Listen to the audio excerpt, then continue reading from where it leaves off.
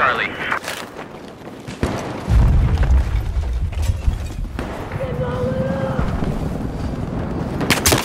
Uh.